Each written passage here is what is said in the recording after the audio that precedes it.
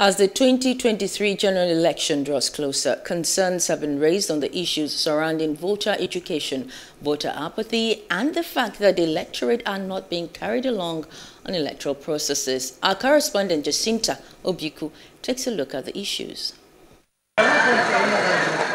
Voter education has become necessary to ensure electorates are aware of their rights, the political system, civic responsibility, and their interests.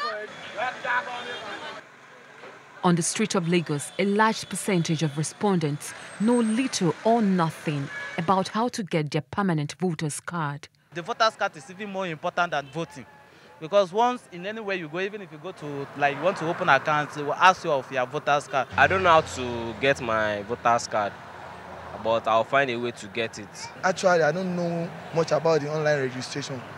The only process I know is just to go to the nearest local government. Me that I'm talking, I haven't actually gotten mine. But um, it's something that I have um, plans of getting. So I don't really know. I'm not in on the details on how to get it. I stay at Ikorodu. Yes. And I also that there is no vacancy in Ikorodu. I should go to Yaba. That is the frustrating part of it.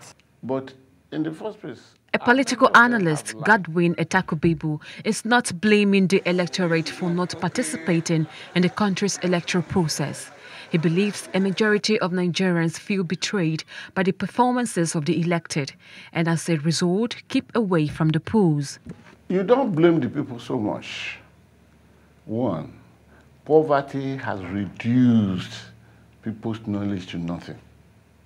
You're talking of uh, online registration, which made it easier.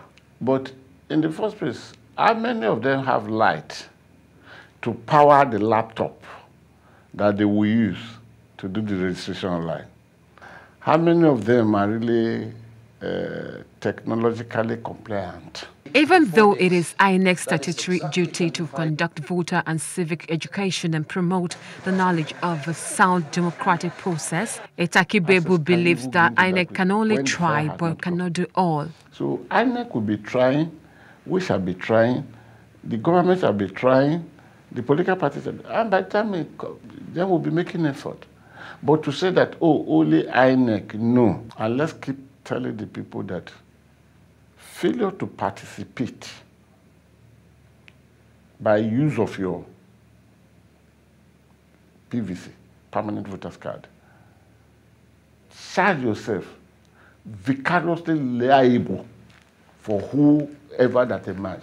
I want to appeal to Nigerians that the commission spends money, the country spends money to print these permanent voters cards. And when we spend money to print them, and we spend money in terms of paying registration officers uh, to go uh, uh, uh, for the purposes of distributing some of these permanent voters cards, and people do not come to collect, it, it, it doesn't tell well of us as a people and as a country. So I think that we must realize the power in the uh, in the PVC and make sure that we collect our permanent voters cards if we have taken the pains uh, to carry out uh, registration.